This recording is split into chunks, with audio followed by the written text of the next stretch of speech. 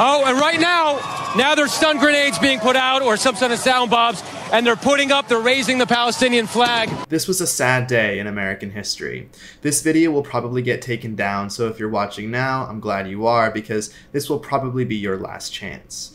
Anti Israel rioters tore down the American flag outside Union Station in the US Capitol and raised a Palestine flag in its place. This is the beginning of the end. If you give these people what they want, which is a US government that does not support Israel, then you will see this all over your own neighborhoods. This image taken not long ago sends chills down my spine. Our nation's capital under the Palestine flag. And it wasn't just one flag either, it was all three outside Union Station. Now, luckily, because of X, we see all these different angles of today's horrible events. Now, we need to pay very close attention to what ends up happening to these people who did this. Are they going to go to jail, or do we just have to pay for a night in custody for them? Now, I think you probably already know the answer to that, so I have another question for you. Do you want a president who locks up these people who vandalizes your country's flag, or one that accepts it? You know, Harris skipped Netanyahu's speech today, so these so called protesters believe what they're doing is working. Even though none of their brains have fully matured, if they see something that's working, they'll keep doing it. You know, Harris Harris called for a ceasefire and talked about Islamophobia in America shortly after the October 7th attacks, so you know which side she's on. There must be an immediate ceasefire.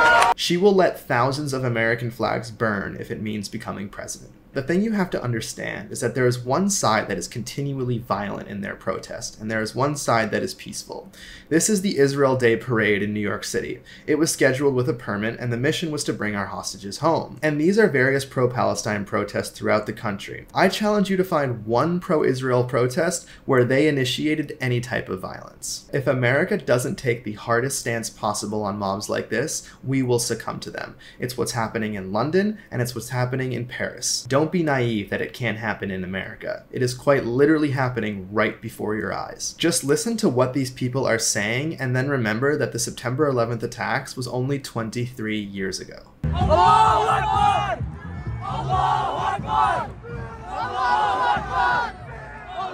This is a video of buses driving in all of these pro-Palestine protesters. The question we should be asking is who is paying for it? Is it Qatar or is it Iran? This is all happening in the middle of the workday too. So these people don't have jobs, which means they don't have cars, so they need a bus driver. When they arrived, they got to their version of work. Most of the protesters today looked like this. You can tell that there's a little confusion as to which direction that they're trying to go in. The level of intention of this isolated incident at the event should be treated with the same level as an attack on this nation. This is a large mob worshipping an internationally recognized terror organization. I leave you with a quote from the congressman from Texas. This is not free speech, this is an act of terror. If you want to watch more episodes of The Nate Friedman Show, subscribe and drop a comment on what you'd like to see me cover next.